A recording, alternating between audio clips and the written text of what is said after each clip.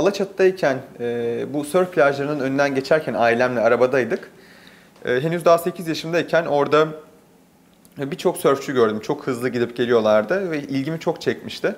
O zaman daha arabada e, hani ben de bu sörfü yapmak istiyorum, bu spora başlamak istiyorum. Hatta hatırlıyorum yani e, ben bugün başlamak istiyorum, öğrenmek istiyorum diye arabada ağlamıştım yani annemlere bayağı bir ısrar etmiştim. E, onlar da beni yanlış hatırlamıyorsam ertesi gün götürüp bu spora başlatmışlardı. Ailecek başlamıştık aslında. Annemler, babamlar, ailecek ya kuzenlerim, ablam herkes bu sporu beraber bir ders aldık, eğitimini aldık. Ben diğerlerinden farklı olarak e, bu spordan çok keyif aldım. Rüzgar sörfünü çok sevdi. Ee, sonra işte bu alanda yani ilk bir sene e, orada bulunduğumuz süre içinde çalıştı. Sonra ertesi sene biz gittiğimizde yine rüzgar sörfünde bu sefer e, bütün yaz boyunca e, oradaki okullardan birine kaydını yaptırdık. Cavit sabahleyin 9'da kahvaltısını yapıyor. E, denize gidiyordu. Akşam e, 6'ya 7'ye kadar e, gelmiyordu. Ablası da böyle daha işte enstrüman, işte piyano çalıyor, konservatuar yarı zamanlı öğrencisi okulla birlikte, e, okulda da çok başarılı gidiyor. E, hatta takıldık biz işte Cavit biraz mani olmasın derslerine. Biz de ebeveynlerimizden öyle gördük çünkü işte spor yaparsan okul geri ikinci planda kalabilir. Ee, anne dedi ablam çok başarılı gidiyor dedi. İşte piyanoda da çok iyi, okulda da çok iyi. Ee, beni dedi biraz rahat bırakın ya dedi. Sporla haşır neşir olayım. Bu da benim çıkış yolum olsun dedi. Biz de destek olduk. Daha sonra e, bu bir şekilde öğrenmiş. Bu e, rüzgar sörfü e, olimpik yani e, yarışmacı olarak da İstanbul'da da yapılıyormuş diye. Kışın da yapılıyormuş. E, o şekilde e, İstanbul'da bir kulübe e, kaydı yapıldı. O, orada çalışmaya devam ediyordu. E, bu spor konusunda e, yani ne kadar yetenekli, e, ne durumda o konuda benim bilgim yoktu. E, orada da bir iki yıl geçtikten sonra e, e, Cavit'i dediler bir Türkiye şampiyonasına götüreceğiz.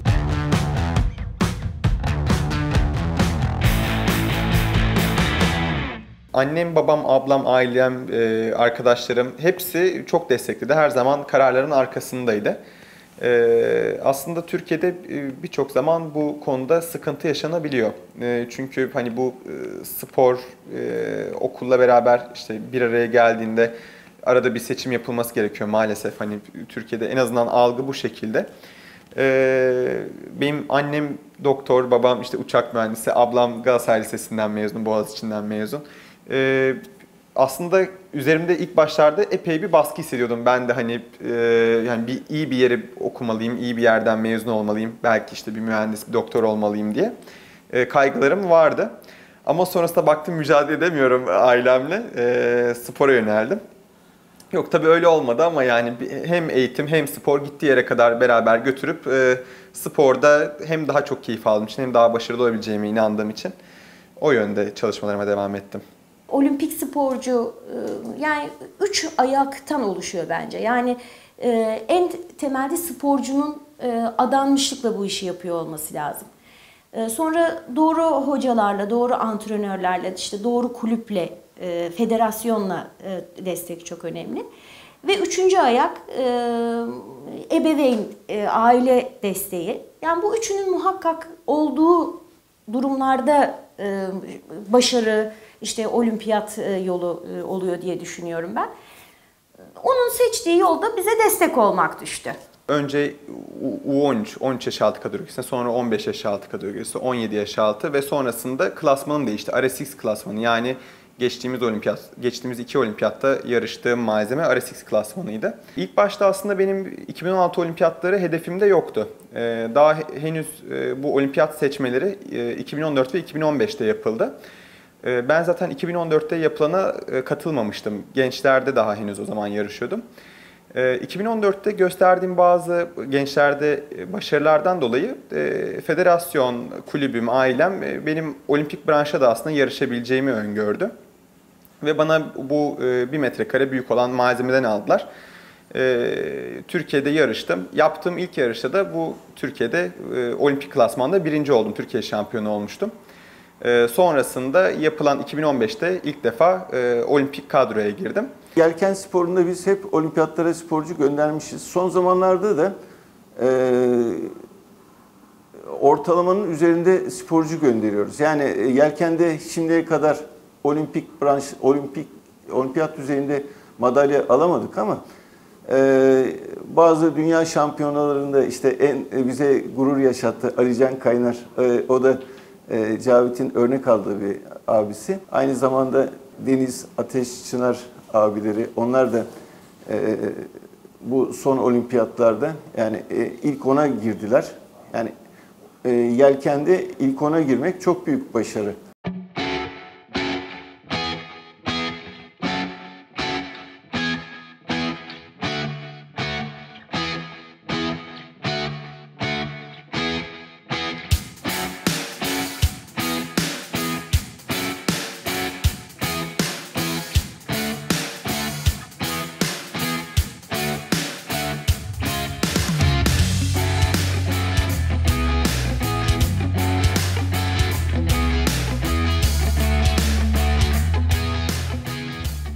Cavit çok özel bir çocuk bence. Ee, Biz ilk e, hatta 3. olimpiyatımıza hazırlanırken e, Cavit daha 15-16 yaşındaydı. E, Ve bir olimpik sporcuya çalışmak istedi yani kendisi.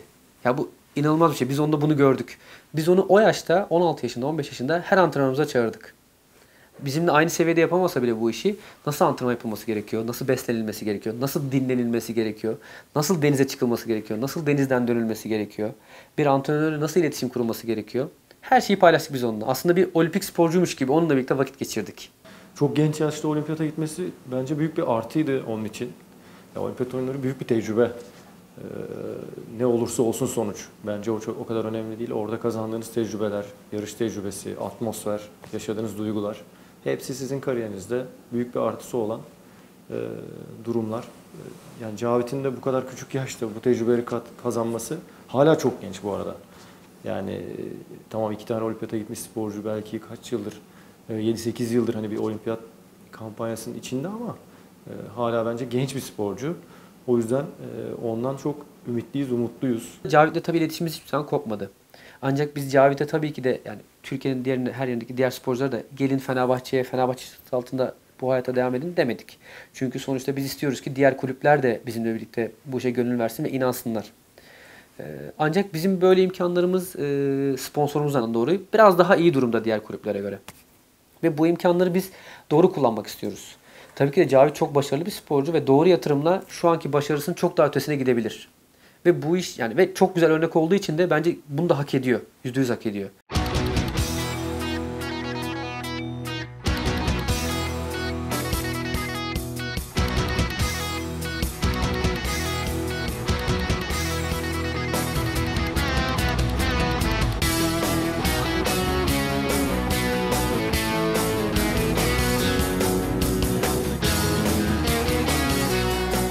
En baştan beri benim e, hedefim 2020 olimpiyatlarıydı. 2020 ve sonrasıydı. İlk olimpiyat olarak kendimi 2020'yi hedeflemiştim. 2016'nın olması bende e, çok büyük bir aslında özgüven yarattı. Neden? E, dedim yani bunu tecrübe ettiğim için bir sonrakiler çok daha benim için rahat geçecektir. Daha iyi bir şekilde hazırlanabilirim. Nasıl olduğunu gördüm. Neler beni karşılayacak orada. E, ne gibi zorluklar olacak veya neyin heyecanı, stresiyle karşılaşıyoruz. O yüzden aslında çok e, yani büyük bir e, şanstı benim için. Cavit ikinci olimpiyatına gerçekten çok iyi hazırlandı. Kendisi de çok güzel şeyler yaptı. Yani bizden aldığı bilgiyi güzel hazmetip üstüne bir şeyler katarak devam etti yoluna. Zaten karakteri hani bu kulübe girdiğinde sürekli her zaman e, ilk yaptığım şey onu optimistlerin önüne koymak.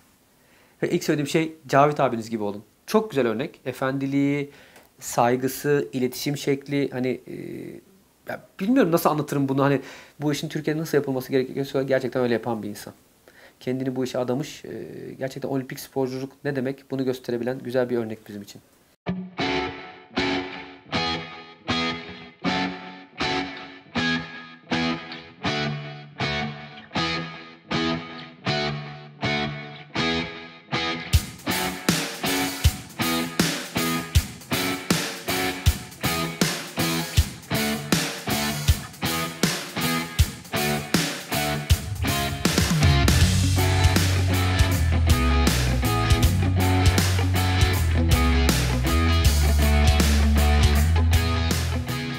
Olimpiyata kotasının geldiğini haberini aslında milli takım kampındayken almıştım Urla'da, İzmir'de.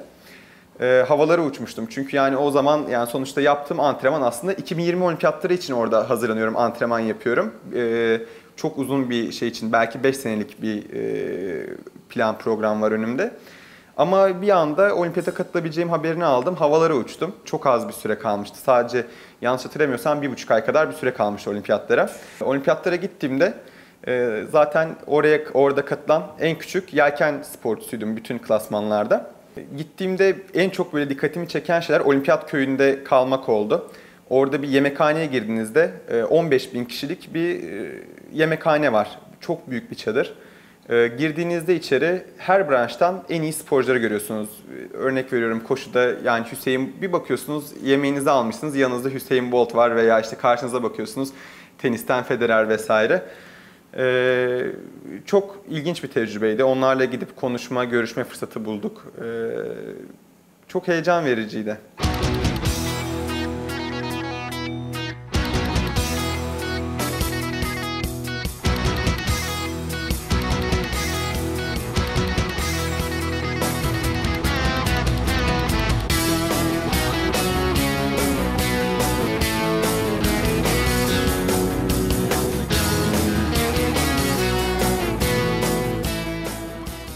RSX sınıfı da rüzgar sörfü tabii ki de ama rüzgar sörfü şu anda IQ foil olarak malzeme değişikliğine gitti. Dolayısıyla bizle beraber biz, bütün dünyada da bu değişiklik yapıldı. Şu anda Cavit ve Dilara aynı şekilde olimpiyatlara katıldıkları gibi bir sonraki olimpiyatlara katılmak için yeni malzemeyle antrenmanlarına başladılar. Olimpik kampanyalarını başlattılar. Onların 2020 olimpiyatları ikinci olimpiyatlarıydı. Şu anda üçüncüsü için ciddi bir mücadele veriyorlar hem zor malzeme değişikliği ancak bütün dünyada değiştiği için aslında bir fırsat da olabilir. Bu konuda hızlı bir geçiş, hızlı bir e, adaptasyon süreci sağlarlarsa bir avantajı çevirebileceklerini düşünüyorum ben. IQ Foil'de ne gibi şeylere ihtiyacım var? Öncelikle malzeme, fiziksel olarak ne gibi değişiklikler yapmam gerekiyor? Nasıl antrenman yapacağım? İlk başta kilo almaya çalıştım. Yaklaşık kad- e, 15 kilo kadar bir kilo aldım. Ee, olimpiyatlardan döndükten bir 2-3 ay kadar sonrasında Türkiye şampiyonası yapılacaktı. Ee, hızlı bir şekilde adapte olmaya çalıştım malzemeye. Ee, bu aldığım fazladan kilolarla da e, hem daha güçlü hissettiğim için hem de daha süratli olduğum için e, girdiğim ilk yarışmada da Türkiye şampiyonu oldum Türkiye'de. E, şu anda da e, hala milli takımımızı IQ Foil bu yeni branşta da temsil ediyorum.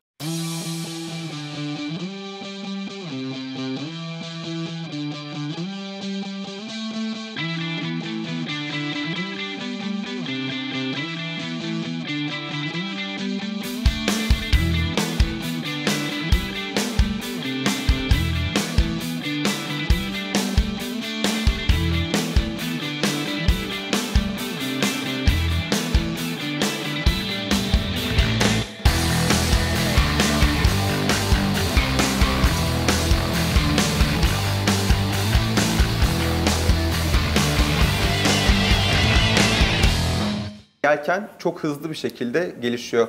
Ateş abi, Deniz abi, Alican abi e, idollerimiz yani aynı zamanda abilerimiz. E, onların da katkılarıyla yani ilk defa işte e, Türkiye olimpiyatlarda madalya şansını yakaladı. E, çok da yakınlardı. E, bizim de hedefimiz tabii ki bir sonraki olimpiyatlarda e, inşallah madalya almak.